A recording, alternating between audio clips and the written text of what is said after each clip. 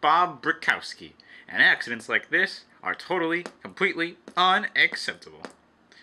Three out of two Lego people die every year because of car crashes, and this is just totally, completely unacceptable.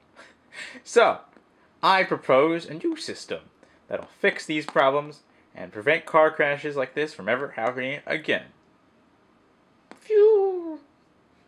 Introducing the brand new traffic light system.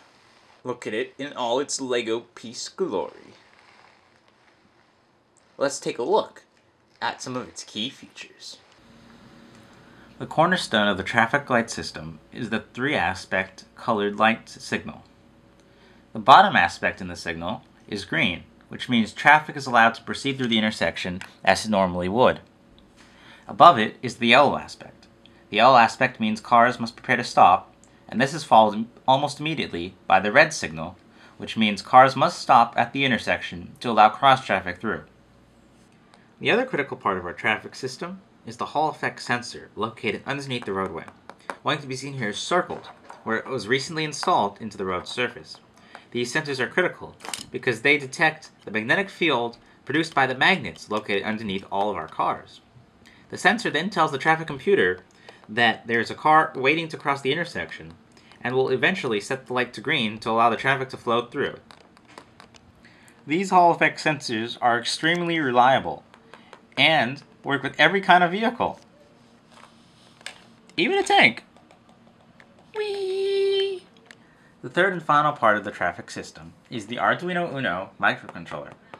This mini computer controls all the signal aspects and all sensor inputs for the intersection to ensure that all traffic flows safely and in a timely manner. To better understand how this system works, we will now show a demonstration of a car entering the signal and proceeding through it safely. To begin, a car first enters the intersection and stops because its signal is red.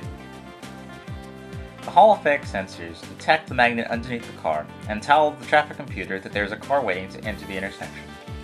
On the cross traffic direction, the signal, which is currently set to green, begins to transition, first to yellow, then to red.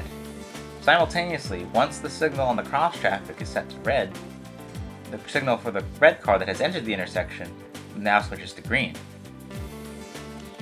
The car is now free to proceed as it normally would, which in this case was crashing into a pole and riding up the side of a building. Terrible, terrible drivers. We still can't fix that. One problem with this type of traffic system is that emergency vehicles would have to stop and wait for cross traffic like normal vehicles. This would delay the response time of these vehicles to emergency situations, which could mean the difference between life and death. To alleviate this problem, infrared sensors have been installed into the intersection. One can be seen here mounted to the side of this building. These sensors detect IR transmitters mounted to emer the emergency vehicles. Once the sensor detects an emergency vehicle is approaching the intersection, the traffic computer sets all signals to red stopping all traffic. Once the intersection is secured, the emergency vehicle is allowed to proceed through the intersection safely, thus maintaining rapid response times and potentially saving lives. Let's take a look at how this works. To begin, emergency vehicle approaches the intersection. All traffic is immediately ordered to stop at the intersection and allow the emergency vehicle to proceed through. The emergency vehicle is now free to enter the intersection freely and safely and proceed to its destination in a timely manner.